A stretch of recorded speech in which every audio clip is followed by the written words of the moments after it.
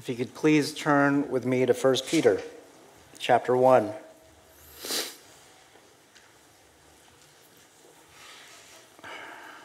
And let me begin with asking you a question. Let me begin by asking this question for you if, to you, and I'd like you to sit with this question. What is the most sure or real thing on this earth for you? Such a big question, right? What is the most sure or real thing on this earth for you? It's pretty deep. And as you've probably experienced, the only things worth pursuing are pretty deep things. And the things that we contend with here and we struggle here and we receive here because of the Word of God are pretty deep things and oftentimes existential things. And sometimes it goes into the realm of philosophy sometimes, but it always comes back to who God is and who you are relating to Him. And so this question is no different. What is the most sure or real thing on this earth for you? People are seeking answers for something that is sure and real today. There are many things in this life that we believe to be sure and lasting, and they are not. For example, I mean, some people think that relationships last. Think of all the relationships that you have, throw marriage in there. Look at all the statistics, look at all how fragile our relationships are actually are. You can have strong feelings about a relationship one day and, and you have rocky relationships the next. It doesn't last. Think about success and our pursuit of success, and the moment that you reach it, wow, how deflating. It's only so short lived, and that you have to create another goal in life where you're seeking and defining that success and clinging on to that success. Think about money. and a lot of people are chasing after money and thinking that if they have enough of it, it will last. For the majority of us, yeah, that's, uh, that's not the case. We don't have enough, and that's okay. God is enough. Amen. Think about time. We're running out of it. You don't have forever. Actually, you've got a limited time, and we're chasing after time, or we're thinking in, the, in our younger years that we've got plenty of time. But you, you never know what life will throw at you and when you will go and when your time ends. Think about life itself. Think about endings all lives. All lives have a time limit and they come to an end. Sometimes we think about earth as being lasting, that rocks, I mean, th- these things will never go away, right? This dirt will never go away, that this is the most lasting thing. But we learn that everything fades. Nothing found on this earth will last. And that's the reality of it. Reality of it. Everything has a shelf life. And Bill Krager was actually just talking about this. The moment we're kind of putting our, we're contending about issues of, of today, of politics, and then we realize four, six, eight years later, why did we give up relationships for those things? Everything has a shelf life, an expiration date. Deep down, the inner man is longing for something that lasts. And they want to be part of it. They want to find what that is and hook onto it. In other words, we're longing for eternity. We're longing for forever, for something lasting. And it's like a Jenga tower. You guys ever played Jenga before? You stack those br- little bricks, right? You take one out and it starts to kind of teeter. This life is like very loose and shaky. As this life goes on, everything around us is, is sure to collapse and not last. And I suppose that's one thing that we can count on happening. All things falling apart, and all things not lasting. You know, there's an existing race and pursuit of the per- preservation of the human race or humanity, right? Uh, through means such as health sciences, uh, because they're motivated by the longing for eternity. Pursuits in areas such as cures for cancer and longevity through diet and exercise. Also, preservation through space exploration. Um, and the goal of living on Mars, like Elon Musk.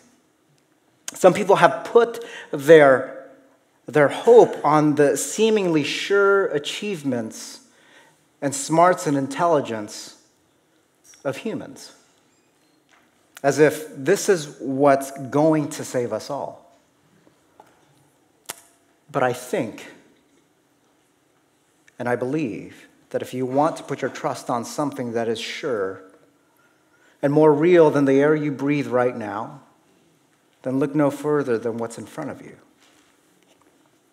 Right here.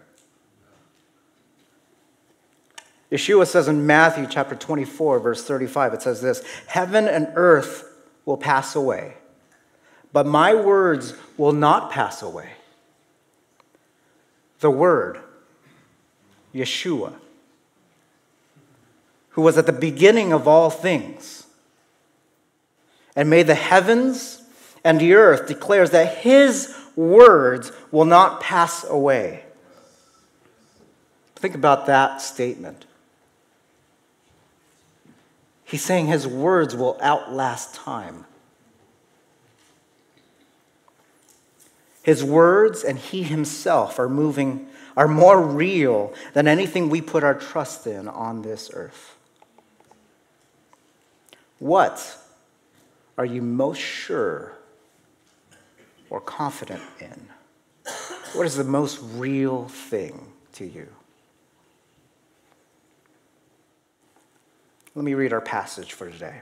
1 Peter 1, verse 3 to 5. It says this Blessed be the God and Father of our Lord, Yeshua, Messiah, who according to his great mercy has caused us to be born again to a living hope through the resurrection of Yeshua, Messiah, from the dead to obtain an inheritance which is imperishable and undefiled and will not fade away, reserved in heaven for you, who are protected by the power of God through faith for salvation, ready to be revealed in the last time. Peter, with these verses, isn't trying to convince believers who already believe. This is written as a praise to God for his greatness and loving kindness. That's what it sounds like, right? Peter is confirming and stating the facts of the surest and most real thing that they can put their trust in. In these verses, he's not addressing doubts. He is giving them more reasons to be hopeful and remain in an attitude of worship and thankfulness for the trust on whom they have placed.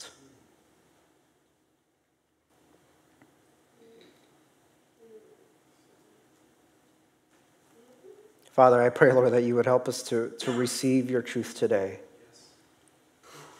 And I pray, Lord, that these words would just be an encouragement to us. And help us contend with this question today. In Yeshua's name, amen. Let me go back for a moment. And, you know, last week I, I missed an opportunity to, to point out something, and it's a, another opportunity again. And so I, I wanted to kind of backtrack for just a moment. In verses 1 and 2, at the very beginning of this letter, we see the evidence and just the premise of Peter here, stating the most, some of the obvious things to him of the triune nature of God. He speaks about the God, the Father, the Son, and the Holy Spirit in these verses. If I can go back, he says this Peter, an apostle of Yeshua, Messiah, to those who reside as aliens scattered through Pontus, Galatia, Cappadocia, Asia, Bithynia, who are chosen according to the foreknowledge of God the Father, one, by the sanctifying work of the Spirit, two, to obey Yeshua, Messiah, and be sprinkled with his blood, three. I got so caught up with all the other things that I just wanted to reference that as we look at these next three verses as he talks about just this assumption that we have and we take for granted, but people stumble upon of just our God and the relationship between God, the Father, the Son, and the Holy Spirit, and the three persons and how they are connected eternally, relationally, and forever. And so, just in the back of your minds, pay attention to those in these verses today and even throughout this letter. So, what are they trusting in specifically?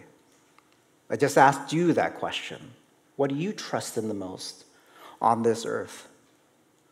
What are they, the hearers, trusting in specifically? This is what Peter says. They are trusting in God's mercy, one. They are trusting that they are born again into a living hope, two. They are trusting that they trust in the inheritance that is imperishable, undefiled, and will not fade, three. And lastly, they trust that their inheritance is reserved for them in heaven, four. In just these three verses, we find that out. So let's take a look at that. They trust in God's mercy according to his great mercy. That's what Peter says. His mercy is the motive for giving us eternal life through his Son. His mercy is the motive, the motivation for giving us eternal life through his son. In Ephesians chapter 2 verse 4 through 5 it says this, "But God, being rich in mercy, rich in mercy, because of his great love with which he loved us, even when we were dead in our transgressions, made us alive together with Messiah.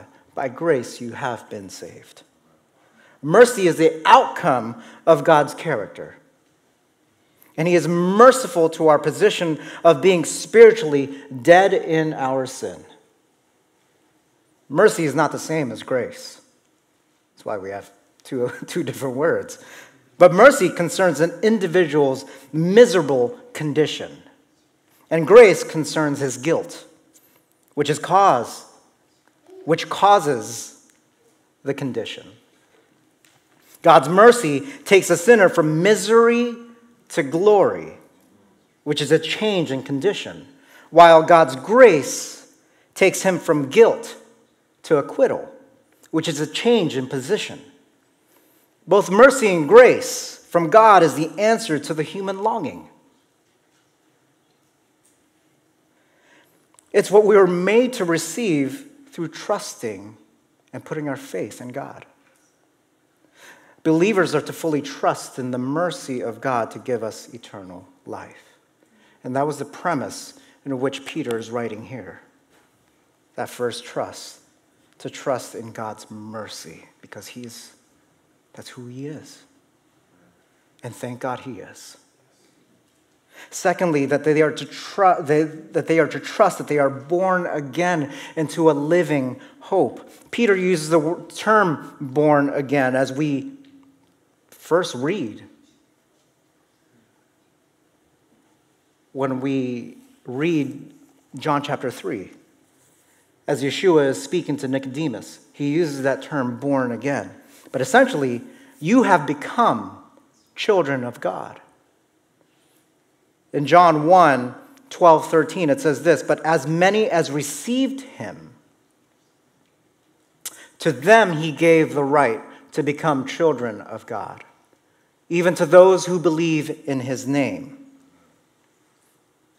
who were born not of blood, nor of the will of the flesh, nor of the will of man, but of God.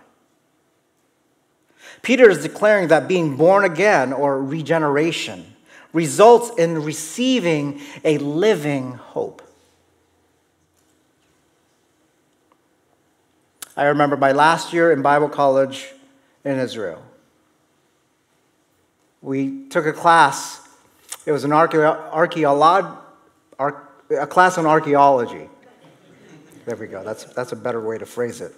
We go down into the Negev, we go to Tel Tamar, we start digging. We help this archaeologist um, uncover, um, essentially, it was a garbage dump, is what we were digging into. We were finding all kinds of Nabatean um, pottery, shards here and there, nothing of really significance other than you've got thousands, hundreds and thousands of that stuff everywhere. Um, watch out for the Arabs, they might sell you on stuff. Um, but anyway, they, um, we were just digging, digging, digging. We found um, some pretty cool things like discovering um, uh, what they, they thought was, a, was an aqueduct right there. And uh, we got to dig into it and, and find it and uncover it and confirm it. And that was, that was uh, a highlight of that, of that trip. But um, the, the archaeologists uh, one day, right in the middle of that week, as we were digging, he's like, You know, let's take a break. I, I want to show you something. So we go on a hike. He takes us further into the Negev, out into the desert. And it's just barren. There's hills, there's mountains, but there was literally nothing growing in that. And I, I take off my shoes and, and I, I walk. At, look, I, am a Hawaiian by heart, and so I, I, I, like to be barefooted. And so, you know, I'm, I'm walking in this hot sand, and it's like, it's just, I'm like, there's nothing, literally nothing growing in this desert. And if there's any hope for this desert to be revived, it has to come from somewhere outside to really pour all kinds of resources for it to thrive. There's nothing that's going to grow here on its own. It was dead. It was completely dead. This world only knows of dying hopes. When you put your hope on things on this earth, it's going to die. Hopes that fade and hopes that result in nothing. But believers have a living and undying hope that will be fulfilled. Peter speaks of this in his second letter. 2 Peter chapter 3 verse 13 it says but according to his promise we are looking for new heavens and a new earth in which righteousness dwells and God provides that Let me talk about our living hope for a little bit more. Our living hope has brought salvation. In Romans 8 22 to 25, it says this For we know that the whole creation groans and suffer the pains of childbirth together until now. And not only this, but also we ourselves, having the first fruits of the Spirit, even we ourselves groan within ourselves, waiting eagerly for our adoptions as sons, the redemption of our body. For in hope we have been saved. But hope that is seen is not hope. For who hopes for what he already sees?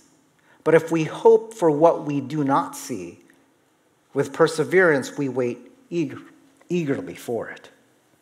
Our living hope has brought out salvation for us. And secondly, our living hope purifies us through Messiah. It says this in 1 John, as he writes in chapter 3, verse 2 to 3. It says, Beloved, now we are children of God. And it has not appeared as yet that yet what we will be. We know that when he appears, we will be like him because we will see him just as he is. And everyone who has this hope fixed on him purifies himself, just as he is pure. Our hope in Messiah, this living hope, purifies us. And also, this hope, our living hope, extends beyond this earth into righting all the wrongs and bringing about the dominion of Messiah and the resurrection from the dead. And Paul writes about this in 1 Corinthians chapter 15 verse 19 to 26. Let's read it. It says if we have hoped listen listen to listen carefully to what he writes. If we have hoped in Messiah in this life only, we are of all men to be pitied.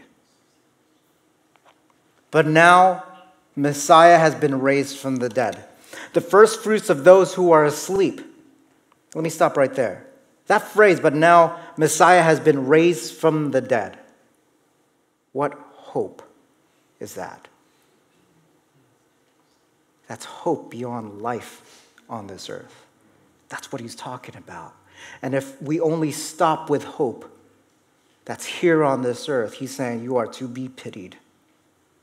And we should because there's so much more of this living hope. Let's read on. But now Messiah has been raised from the dead, the first fruits of those who are asleep. For since by man came death, by a man also came the resurrection of the dead. For as in Adam all die, so also in Messiah all will be made alive but each in his own order. Messiah, the first fruits. After that, those who are Messiahs at his coming. Then comes the end, when he hands over the kingdom to the God and Father, when he has abolished all rule and all authority and, all, and, and power. For he must reign until he has put all his enemies under his feet. The last enemy that will be abolished is death believers trust, you and I must trust that they are born again. We have died and we have a new life in Messiah, and we truly have a living hope in Messiah, Yeshua. Thirdly, Peter's talking about that they ought to trust in this inheritance, this inheritance that is imperishable, undefiled, and will not fade. The word inheritance is, is this wealth, right? Or a legacy that's being passed down that one receives as a family member. This wealth we are, we are being given is not junk, is what he's saying. It's not junk. It doesn't fade like the treasures of this world. Going back to that question one more time. What on this earth is the most real or sure thing that you can think of?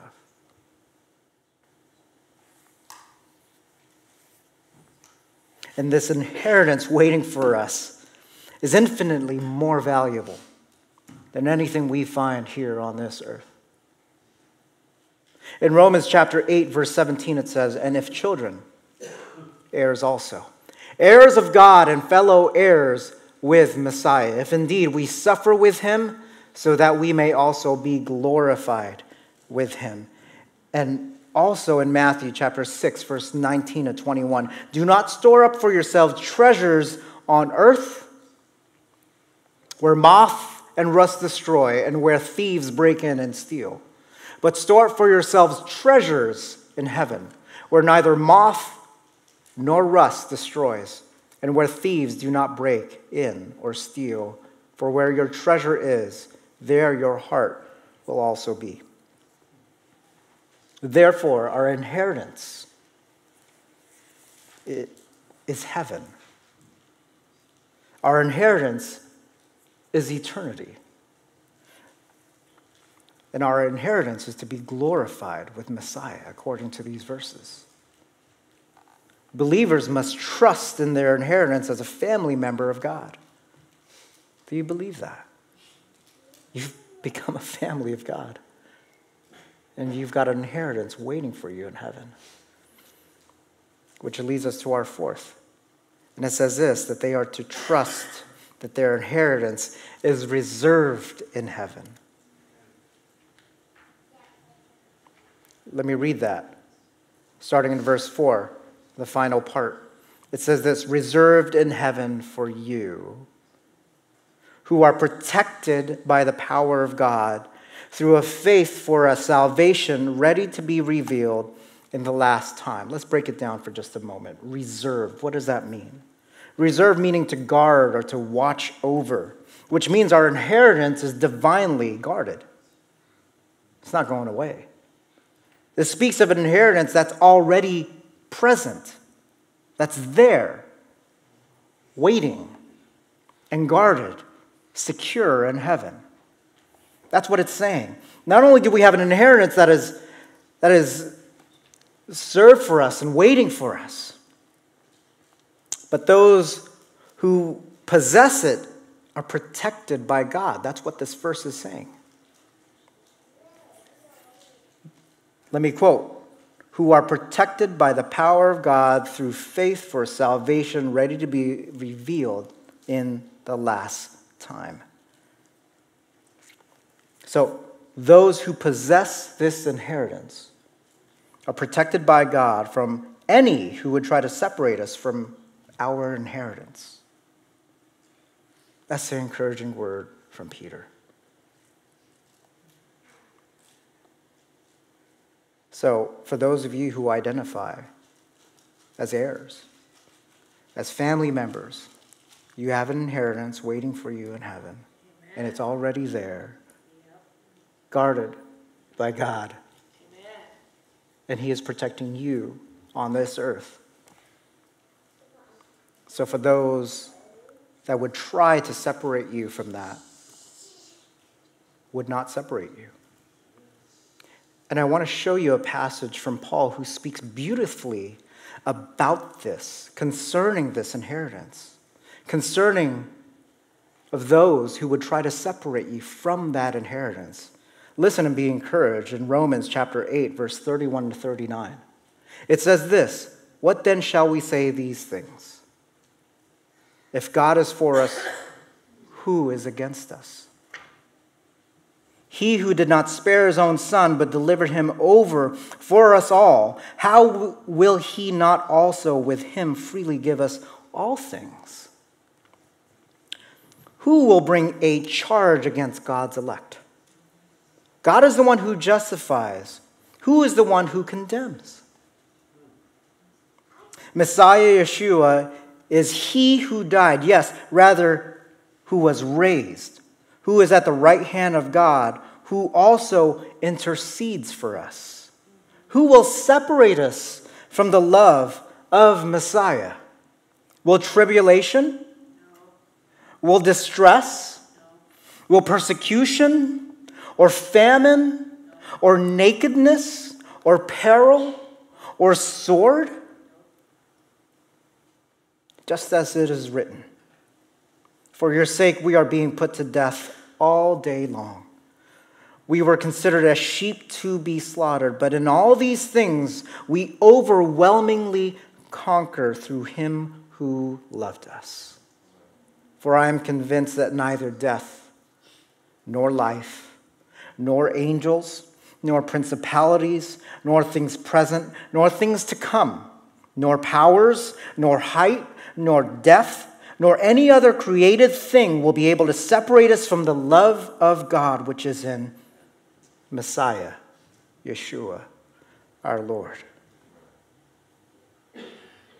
Believers are to trust in the inheritance that is being guarded in heaven, and our God who protects us from all things that would try to separate us from that inheritance.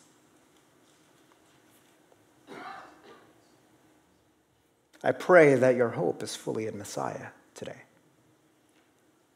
There's nothing else on this earth to place your hope in. It is a dying hope. There is nothing more sure, nothing more real than the promises of God and the work of Messiah, who gave his life that we might live as children of God. Hallelujah. Heavenly Father, I, I thank you so much, Lord, for the truth that was just read today, written by Peter. Thank you so much. You are to be glorified and honored and magnified. And we thank you and we love you. Thank you for your promises. Thank you, Lord, for your salvation. Thank you for the hope, the living hope that we have put and that we have placed in you. There is no other hope, Lord, here on earth. You have provided a way, and we are grateful. And I pray, Lord, that our attitude will continue to be one of thankfulness and of worship because you are worthy to be praised. In Yeshua's name, amen. Let's all stand.